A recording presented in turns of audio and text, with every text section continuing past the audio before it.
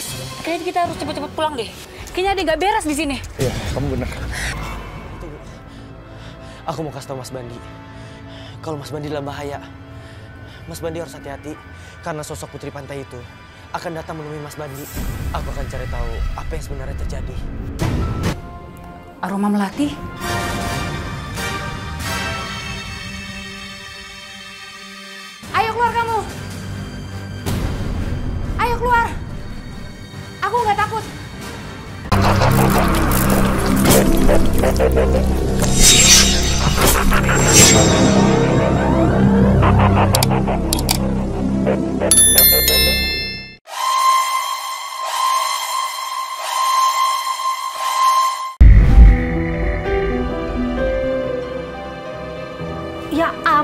Nita.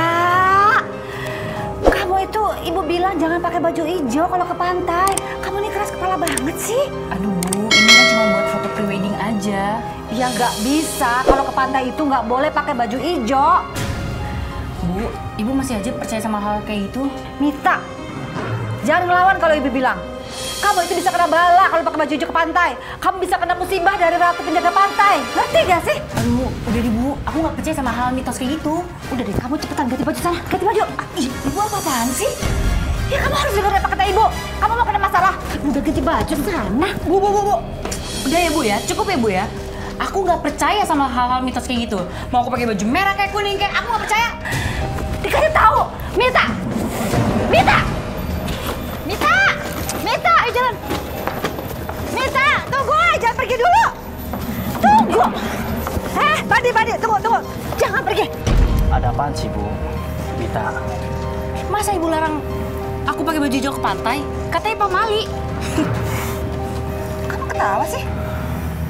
Bu, hari gini masih aja percaya sama mitos. Kamu nggak percaya juga? Itu cuma mitos. Lagian apa sih hubungannya pakai baju hijau sama ke pantai? Kalau kamu nggak nurut, kalau kamu tetap jalan, nanti kamu saya pecat ya jadi supir. Mau? Bu, yang gaji Bandi itu Bapak, bukan Ibu. Ayo jalan. Eh. Eh, Apa-apaan sih ini? Apa? Udah, udah, nggak usah dengerin. Lebih baik kalian pergi sekarang. Ya, biar pulangnya nggak kemalaman. Cepet. Baik, Pak. Eh, cepat, cepat. Badi, Mita, kamu jangan pergi. Bu, bu, bu. Kamu boleh pakai baju hijau pantai? Udah, Bu. Aduh. Mama, Mama gimana sih? Bukannya ditahan, malah disuruh pergi. Bu, jangan percaya sama mitos. Itu nggak benar.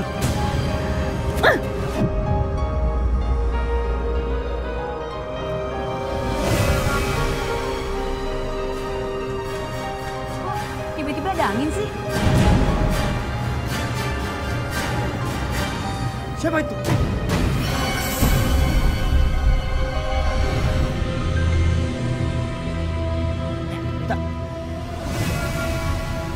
Kenapa, Mita? Kamu kayaknya lagi cari sesuatu. Hah? Aku tadi lihat sosok putri seperti putri keraton. Keraton.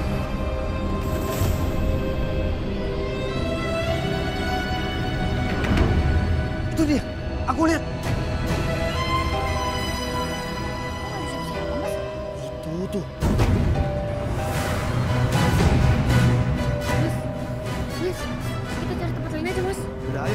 Mas. Ayo.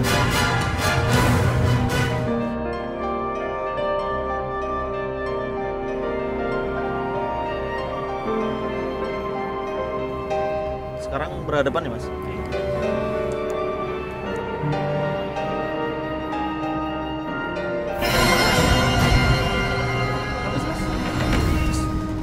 Saya lihat ada cewek berdiri antara Mas sama Mbak.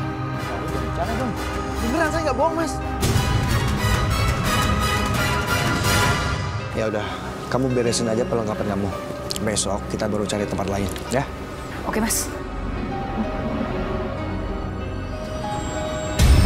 Mas! Mas! Ada apa, Mit? Itu. Itu tulisan. Mas, kayaknya kita harus cepet-cepet pulang deh. Kayaknya ada nggak beres di sini. Iya, kamu benar. Bandi, Bandi. Ya, ada apa, Pak? Cepet kamu reka semuanya. Kita balik, ya? Iya. Ayo, Ya, Pak. Ban mobilnya bocor. Ganti aja bannya ya. Ah, Pak.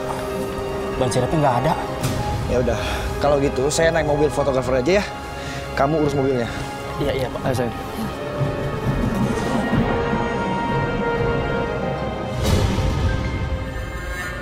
Udahlah, Mit, ya. Kali aja orang itu cuma iseng aja. Kamu tenang aja ya.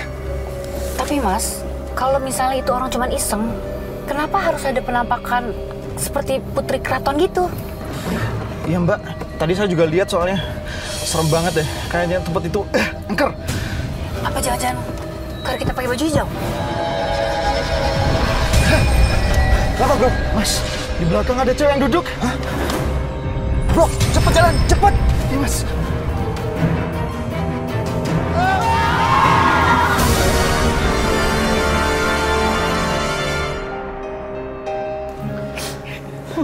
Gak nyangka ya, Pak.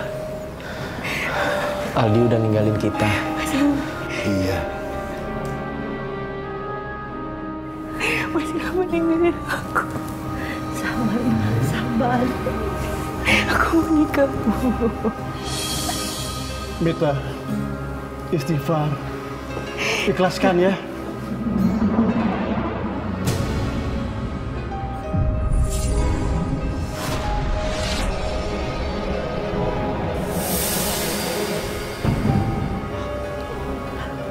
Mencium bau wangi, Pak. Bau kembang melati. Aku merasakan ada kehadiran makhluk lain di tempat ini, Pak.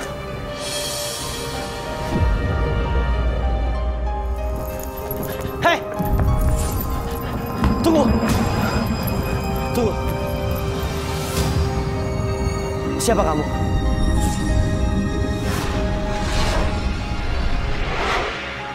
Aku tahu. Kamu dari dunia lain. Mau apa kamu ke sini? Coba lihat. Itu anak kenapa ya? Tahu. Kayak berbicara sama seorang. Iya, tapi kan di situ jelas-jelas nggak ada siapa-siapa. Ya kan? Iya. Aku merasakan ada orang yang tidak baik dalam diri kamu. Tinggalkan tempat ini. Saya Rekyoshi.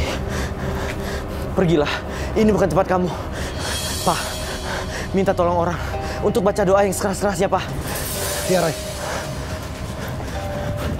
Mau apa kamu? Siapa kamu? Ada apa, Pak? Tolong bantu doa, Pak. Bismillah.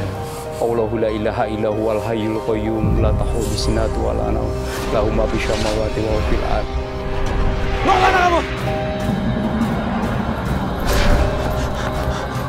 Aku mau tanya sama kamu. Siapa kamu? Kenapa kamu ada di rumah almarhum sepupu aku?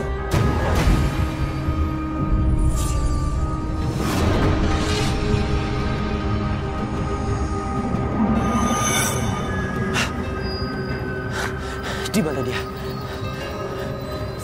Aneh. Seorang putri cantik ada di rumah almarhum Aldi. Ada apa sebenarnya? Ini semua gara-gara kamu, Mita.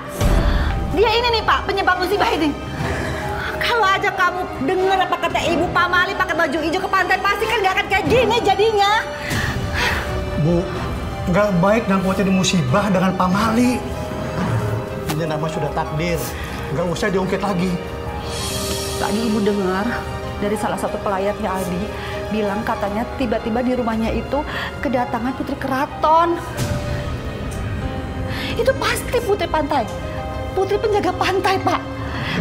Dan kata orang banyak, putri pantai itu akan mendatangi orang yang pakai baju hijau ke pantai, Pak. Jadi kita akan kena musibah.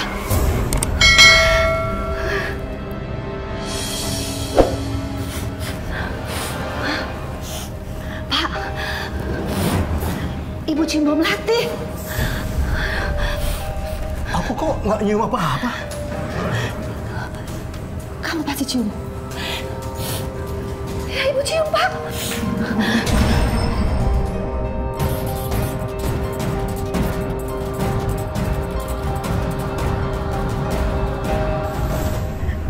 Ini bau melati, Pak.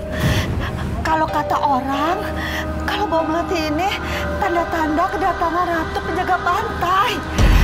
Ah, kamu ada-ada aja. Udah jangan percaya begituan. Kalau kamu semakin percaya, kamu nanti dibuat takut. Eh, Bapak, ini bawa melatinya udah sangat dekat. Udah cepetan, periksa rumahnya. Jangan-jangan dia udah di sekitar rumah kita. Eh, eh, Andi, ngapain sih kamu malam-malam berkeliaran di rumah? Tadi aku dengar ada suara orang jalan, Bu. Makanya saya keluar. Beneran, kamu dengar suara orang jalan? Bener, Pak. Aku dengar, Pak. Tinggal di belakang. Tuh kan, itu pasti, pasti ratu penjaga pantai itu. Iya kan? Kamu lihat apa sih tadi? Udah, udah, udah, udah. Gak ada apa-apa kok. Jangan dipikirin lah. Ayo masuk. Pak, Pak, Pak, kamu lihat nggak? Lihat sesuatu nggak sih? Pak, Bapak. Mita. Aku turut berduka cita ya.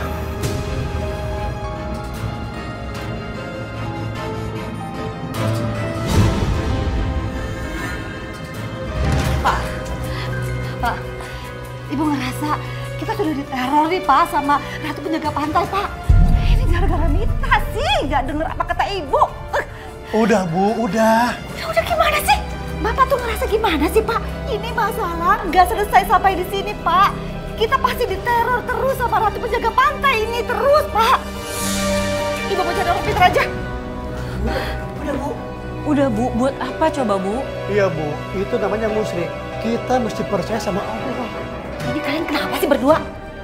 Bapak ini nggak peduli apa sama keselamatan keluarga? Udah deh, pasti aja. Kau tahu nggak sih kalau orang pinter itu udah pasti selesai masalahnya cepet. Astagfirullahaladzim, Ibu, Ibu.